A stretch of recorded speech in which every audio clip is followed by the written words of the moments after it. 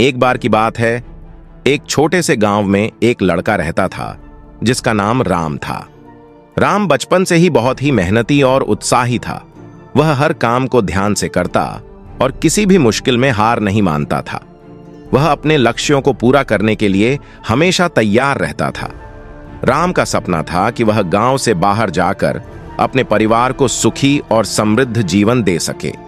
उसके परिवार में गरीबी थी लेकिन उसने कभी हालातों को अपने दम पर हावी नहीं होने दिया। राम के लिए एक दिन बदलाव लाने का मौका आया, जब गाँव में एक खेल का महोत्सव आयोजित हुआ। उसमें भाग लेने का मौका मिला। राम को खेलना बहुत पसंद था, और उसने उस खेल में भाग लेने का फैसला किया। खेल की तैयारी के लिए राम ने दिन रात मेहनत की।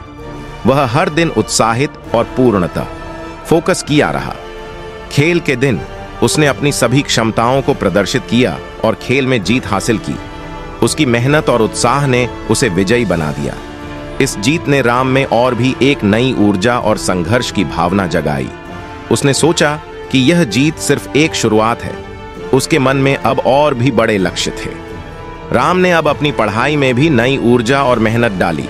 वह रोज रात को देर तक पढ़ाई करता था। उसकी मेहनत और लगन ने उसे बड़ी स्कॉलरशिप प्राप्त करने में मदद की। उसकी मेहनत और संघर्ष ने उसे अच्छे कॉलेज में प्रवेश दिलाया। कॉलेज में भी राम ने अपने लक्ष्यों को पूरा करने के लिए मेहनत और उत्साह से पढ़ाई की।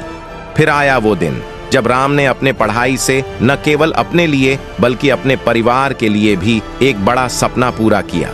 उसने अच्छी नौकरी पाई और अपने परिवार को खुशहाली और सुख शांति दी। ये कहानी हमें सिखाती है कि मेहनत, उत्साह और संघर्ष के बिना कोई भी बड़ा सपना हासिल नहीं हो सकता। जब हम अपनी मेहनत और उत्साह से किसी भी मुश्किल को पार करते हैं तो हमें सफलता ज़रूर मिलती है। इसलिए कभी भी हार नहीं मानना चाहिए, चाहे जीवन में कितनी भी मुश्किलें आए। अपने सपनों को पूरा करने के लिए मेहनत करना हमेशा बेहतरीन रास्ता साबित होता है।